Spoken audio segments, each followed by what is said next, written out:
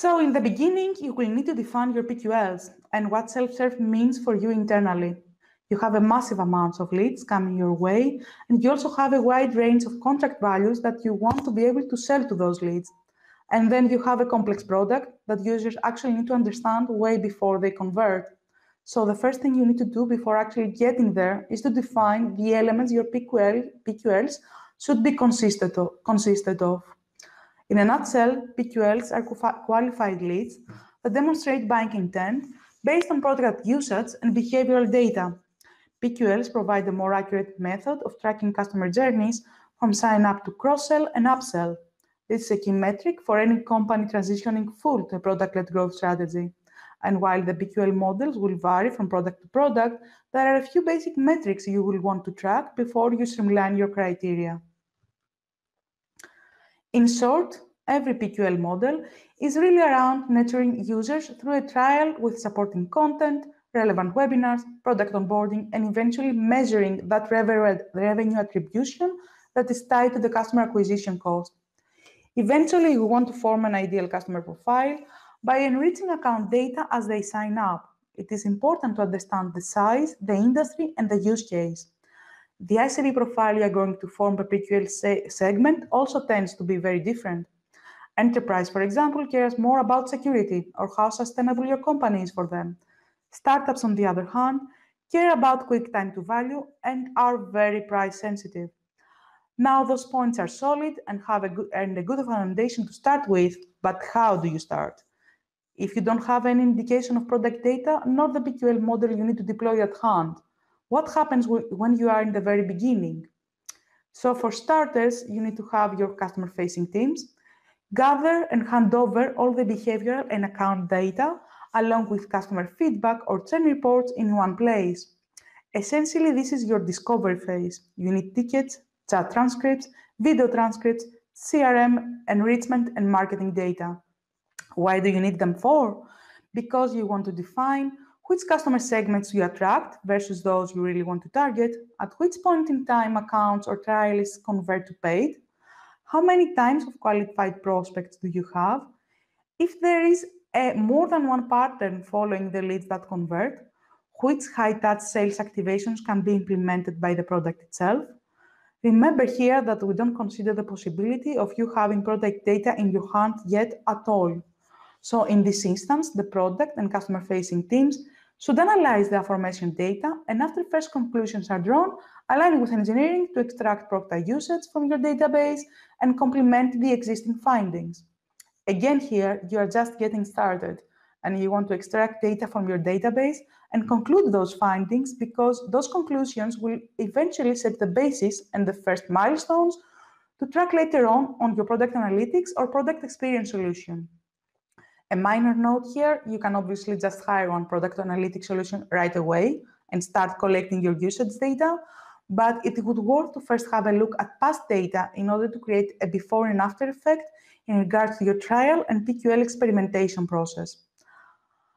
So in case you have product data already in place, you can start with using account profiles, demographic and firmographics such as company size, industry and revenue, which will help sales focus in most relevant accounts.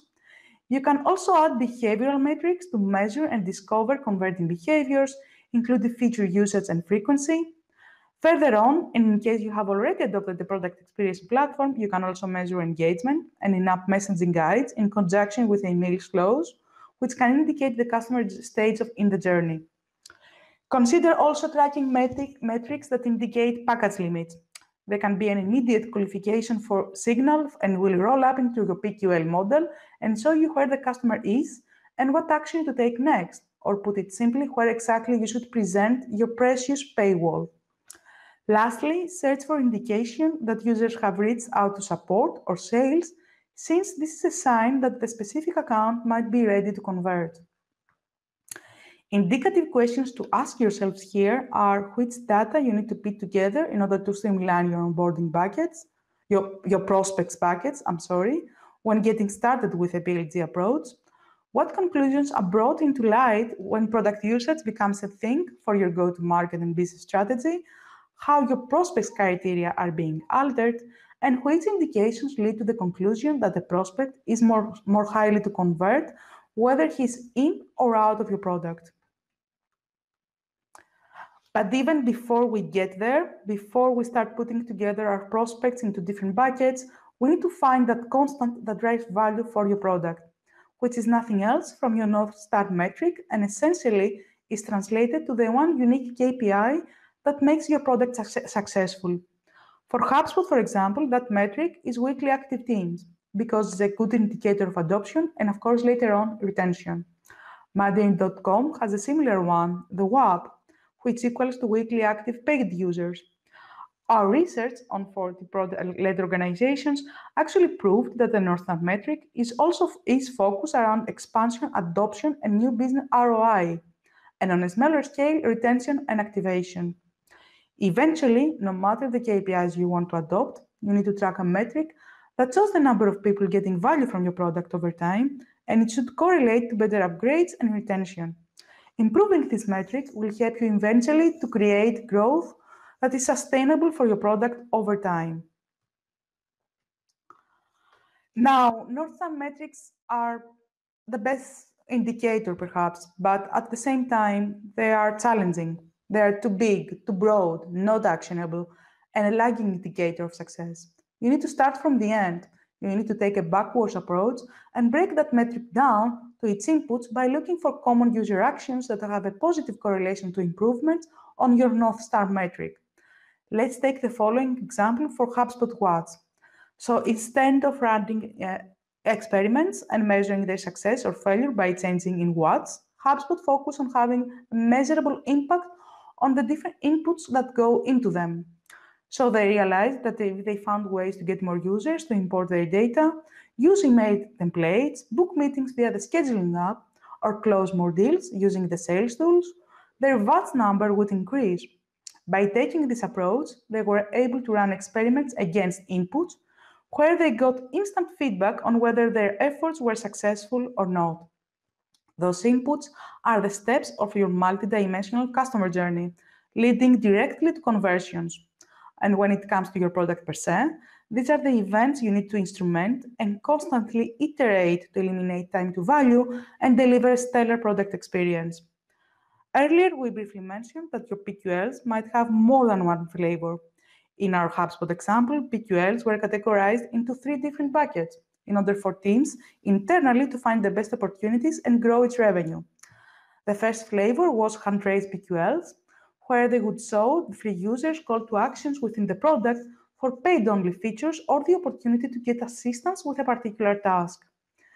Usage PQLs, which were triggered, which, which were they triggered a call to action based on product usage. For example, when users would exhaust their free call minutes or email templates, this would trigger an option to upgrade or talk with sales.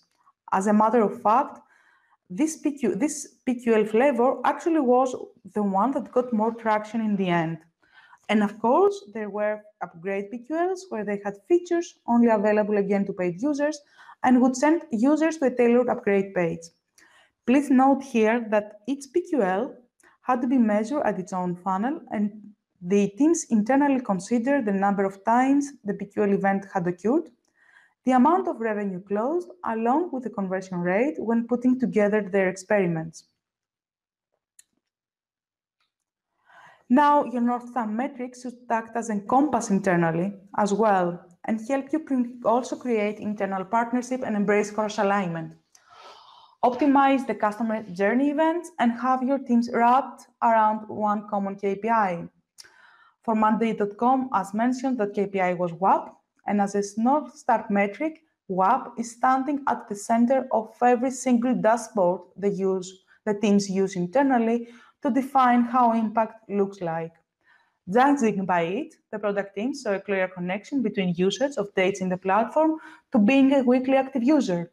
For example, when Monday.com users input dates, the chances to become an active user on a weekly basis are 13%, 13% higher, and the probability to visit Monday.com 40% higher within a week.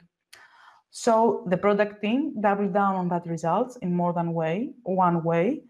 And for starters, they discovered that the outputs leading they discovered the outputs leading PQLs and customer towards value, like uh, and proxy metrics like the use of integrations that increase weekly usage by 20%. Secondly, they created various features that reinforced WAP. And lastly, they injected in their onboarding and tech touch all sorts of tutorials and in-app messages to get the users to include more dates into the product. Following the same logic, the customer success team decided to measure success by looking at the weekly active users per account. Consequently, today's CSMs always seek to optimizing product behavior towards increasing weekly usage. As it was expected, that brought complete alignment and a strong sense of trust across CSM's KPIs and the product team's KPIs. CSMs began to develop insights into what are the key ingredients to improve WAP and now acknowledge the ways to reinforce the product team's efforts by boosting usage and, of course, adoption. And the Monday.com example may describe practices used a little bit more down the funnel, but is a good foundation you can, you can use for your sales team as well. How? By having sales getting the weekly reporting activation metric for trialists, or by setting real-time notification when usage thresholds are reached in order to get in touch with those prospects and convert them. As a last step, it would be wise to make a representation of the high-touch sales process and which learnings can be injected into your tech touch flow.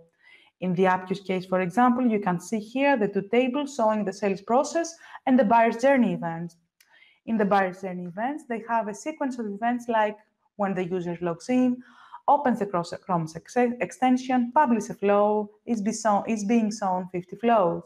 And all of these represent in product activation, whereas in the sales process, you are really seeing the buyer's journey from the perspective of the account executive. And you will also notice that in this instance, we've got the likelihood to purchase next to each step of the customer journey.